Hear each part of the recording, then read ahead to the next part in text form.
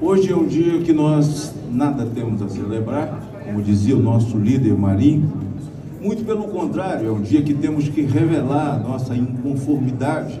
E dizia Paulo, alguns não gostam, Paulo foi o intérprete da mente de Cristo. Não vos conformeis com esse mundo, mas transformai-vos pela renovação do vosso entendimento. E neste momento é para colocar a nossa indignação em nome da população brasileira. Um monstro que foi moldado pelo então ministro Toffoli, que nós esquecemos sempre de falar. O inquérito que nasce com base no regimento interno da casa, se algum ministro é ofendido dentro do âmbito do Supremo Tribunal Federal. Ele cria um monstro e dá ao ministro Alexandre de Moraes para criar. Ele o alimenta, cria tentáculos, tentáculos e mais tentáculos, que fazem cinco anos. O que seria fake news, na verdade? O ministro Gilmar Mendes um dia disse, ministro Gilmar Mendes, que o PT estabeleceu no Brasil uma cleptocracia. Isso é fake news? E depois, em seguida, ele diz ao ministro Barroso, quando chega lá, vá fechar seu escritório de advogado. Quem está mentindo? Seria uma fake news? O mesmo ministro diz: sem o Supremo não haveria Lula. Cadê a grande imprensa? Sem o Supremo não teríamos alguns agentes políticos que estão desfrutando dos seus mandatos. Seria isso uma fake news? Não. Em Portugal, após 8 de janeiro, quando já se criava a narrativa de golpe, de golpistas e com centenas de inocentes presos, ele disse: não podemos chamar isso de golpe, dando entrevista em Portugal. Que na verdade foi uma baderna, e foi uma baderna. E que alguns infiltrados ou desavisados quebraram alguma coisa e ele disse: não houve tentativa de golpe porque não tinha ninguém para assumir. As palavras não são minhas, são dos ministros Gilmar Mendes. E a gente vai vendo descalabros ao longo do tempo. Veja um agora. O Nicolas agora vai virar réu a pedido do PGR porque chamou Lula de ladrão.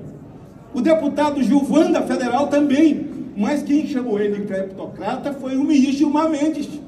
Há um precedente aberto. Instalaram a cleptocracia, então o cleptocrata está no poder. E agora os outros vão lá ser indiciados, serão ouvidos, porque falaram isso. Vem cá, se alguém ligado a Jair Bolsonaro fizesse no Twitter o que o deputado Lindbergh fez, ironizando que os processos de Bolsonaro estão na mão de Dino. Será que está falando alguma coisa? A coisa está tão feia do ponto de vista econômico, dizia Marinho, eu não vou malhar em ferro frio, tem muita gente para falar aqui. A destruição do país, porque nós já vivemos, já vivemos no regime comunista, né?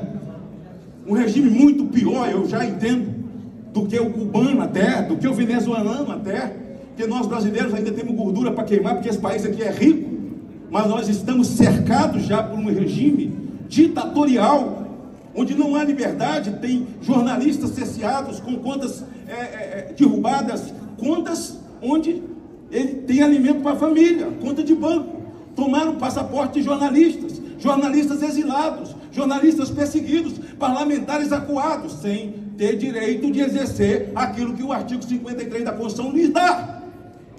Ora, nós temos Daniel Silveira que está preso. Tudo bem, é uma reflexão que nós temos que fazer, que a Câmara tem que fazer. Alexandre violou o artigo 53, mas quem votou para prender Daniel foi a Câmara. A minha Câmara de Deputados Estaduais, no meu Estado do Espírito Santo, a Assembleia Legislativa, hoje teremos alguns deputados aqui e temos alguns líderes aqui que vieram, é, vereadores, lideranças do meu Estado para acompanhar, porque o nosso líder Marinho entrou com um pedido de um voto de louvor que será votado hoje. A Assembleia Legislativa do Estado do Espírito Santo, presidida pelo deputado Marcelo Santos, e que fez valer a Constituição quando na prisão do capitão Assunção e colocando ele em liberdade com base na Constituição brasileira. Então nós não temos nada a comemorar de um inquérito do final do mundo, que é o encontro do nada com coisa nenhuma que é na verdade uma coisa, é, é uma tara. Eles querem a carcaça de Bolsonaro, eles querem a carcaça dele. É como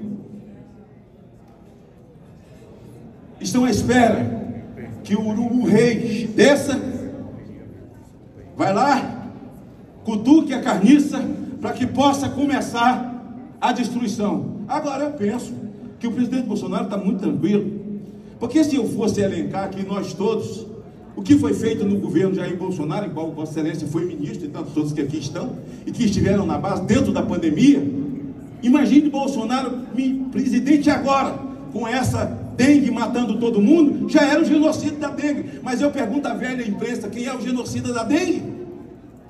Quem é o genocida da dengue? Aí aparece a delação de dois generais. Nenhuma vez eles falam em golpe. Quem fala em golpe é o texto da imprensa. Agora, para você decretar um estádio de sítio, precisa de muita coisa. Precisa de um membro da OAB, um membro do Senado, um membro do, do, do Legislativo aqui federal, um membro de uma casa, um membro de outra casa, para depois reunir, trazer para aqui para ser votado, para depois que isso seja executado. Tudo cortina de fumaça. Nós estamos no regime ditatorial, num regime onde não podemos mais falar, onde querem derrubar as redes sociais para nos calar definitivamente. O país está dividido, será? Porque uma parte do país eu vejo na rua, cadê a outra? Aí eu não posso duvidar de nada, porque aí eu vou para o inquérito. Aí eu não posso duvidar de um pedaço de lata desse tamanho, tem um monte de número, que aí eu vou me bater dentro do inquérito. Ah, me engana que eu gosto. Nós estamos aqui para revelar a nossa inconformidade com esses cinco anos, cinco anos de sandice, de deboche com o povo brasileiro, de deboche com o ordenamento jurídico que já foi para as cucuia há muito tempo. E acho que o parlamento tem a sua hora de acordar, de levantar sua voz, o Senado principalmente, que entre os três poderes é quem mais poder tem e que não deveria estar de cócoras nesse momento, sabe? Para que esse ativismo judicial imperasse de maneira que impera e nós tivéssemos aqui para poder fazer um velório de novo, depois de cinco anos de algo que foi inventado, foi criado, foi gestado. Por quem? Pela mesma pessoa que perdoou os bilhões das dos acordos de leniência, daqueles que foram pegos e declararam que roubaram, que roubaram, que roubaram, devolveram o dinheiro, mas agora eles estão recebendo dinheiro de volta, mesmo tendo declarado pela caneta do ministro Toffoli. Isso não é, não tem a ver com a casa, com o, o Supremo, com a instituição, não. Eu estou falando daquilo que eu não concordo, daquilo que eu vejo que está errado, mas só está certo o que eles falam. Se você fala algo aqui que não agrada, certamente haverá uma reflexão, haverá alguma coisa que vai respingar em você. É possível que essa nossa coletiva, no dia de amanhã ou depois de amanhã, alguma coisa sobrecaia sobre nós, simplesmente porque nós viemos aqui dizer aos deuses do, do, os deuses do Olimpo que eles estão errados.